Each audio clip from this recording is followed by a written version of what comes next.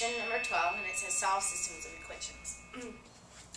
Part A says how many solutions does the system of this does this system of equations have? So we get y equals 100x squared minus 2, and then x squared plus y squared is equal to 4. And then it gives us the hint to draw a picture.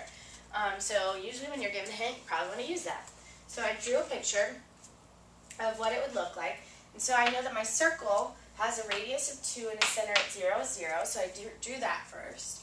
And then I know that when x is equal to 0, y is equal to negative 2 for this parabola. And then I just I just plugged in 1, and I got 100 minus 2 is 98. So at 1, it's at all the way up at 98. So it's going to be a really, really, really narrow uh, parabola.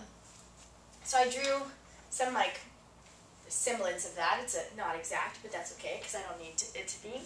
And I want to know um, how many solutions does it have. So I just circled the solutions. Solutions are being where the graphs intersect. So they intersect here at this value of negative 2, but also this place here when our parabola crosses through that circle. So the answer is three solutions. Um, and the reason we wanted to draw a picture for this, well, besides the fact that they told us, is because sub, subbing in um, 100x squared minus 2 in for y is going to give us like really ridiculous numbers. And we don't necessarily, we weren't looking to solve to see what the solutions were, we just wanted to know how many So, and that's why plugging it in would uh, be a little much.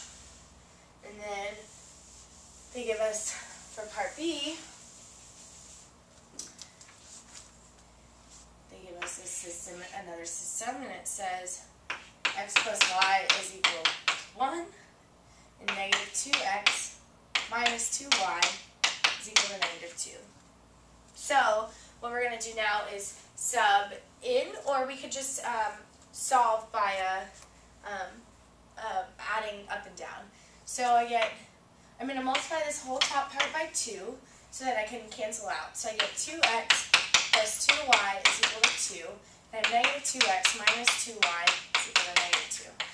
But look what happens when I substitute, when, that, when I plug that in. So what this is saying is that these lines are actually the same thing. So they have an infinite amount of solutions. So that's your answer is infinity. That's number 12.